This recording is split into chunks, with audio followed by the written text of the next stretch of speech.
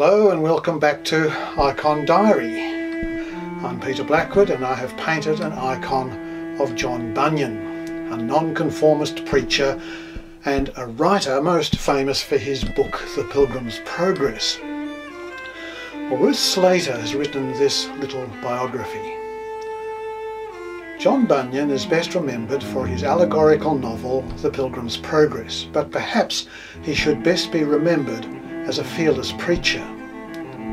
Bunyan was born in November 1628 in Bedfordshire, England, at a time of religious unrest.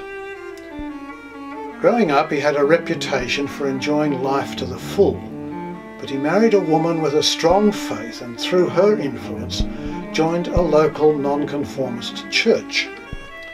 The change from blasphemer to preacher intrigued the population of Bedford, his preaching increased in popularity and in power.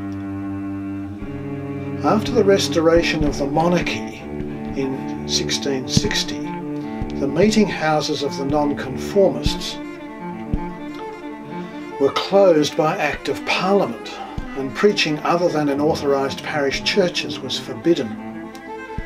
Bunyan, however, continued to preach throughout the countryside and was arrested and jailed for 12 years. It was while in prison that most of his books and articles were written.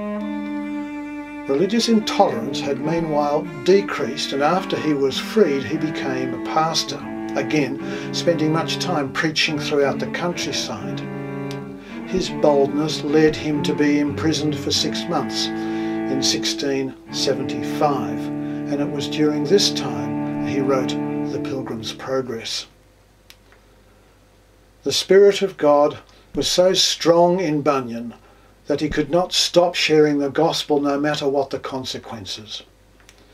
His boldness and confidence in God in all situations is reflected in his hymn, Who Would True Valour See?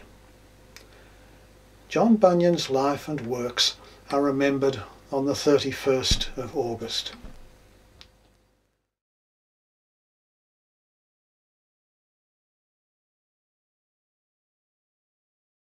Who would true valour see, let him come hither. One here will constant be, come wind, come weather. There's no discouragement shall make him once relent his first avowed intent to be a pilgrim.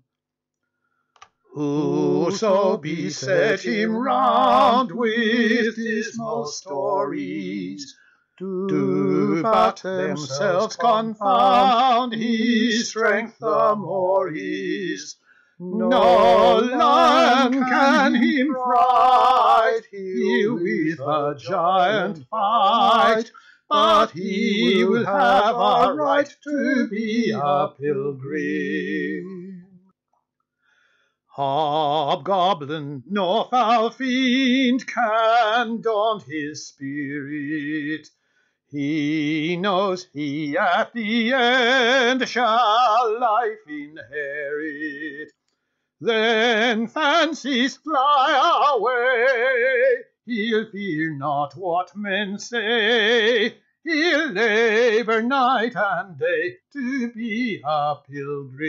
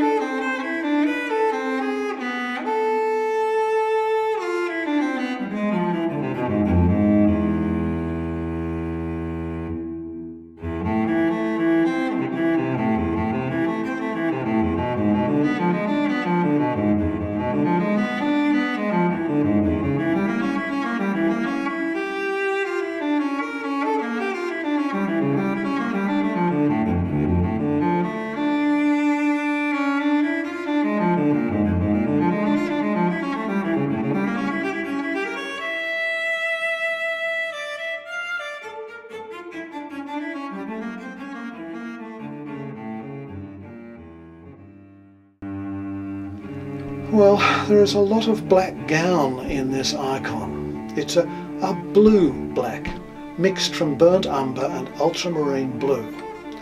And I think it works better than Mars black. I've used it quite often. It's a more interesting black.